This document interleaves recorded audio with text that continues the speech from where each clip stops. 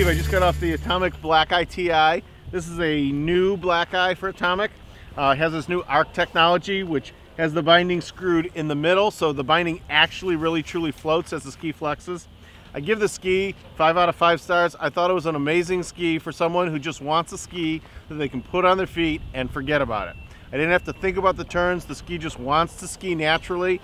Very easy transition. There was no work involved no effort really. It's just a very easy ski to ski. So if you're looking to work a ski, you're looking to really uh, something that can just go wild, uh, this would not be the ski for you. But if you just want something where you can get out there and just have a lot of fun without having to put a lot of effort, something that can definitely, if you're an advanced intermediate, it would definitely improve you to be a more advanced skier. If you're advanced skier and you just want a ski that just is simple to ski, this could be a great ski.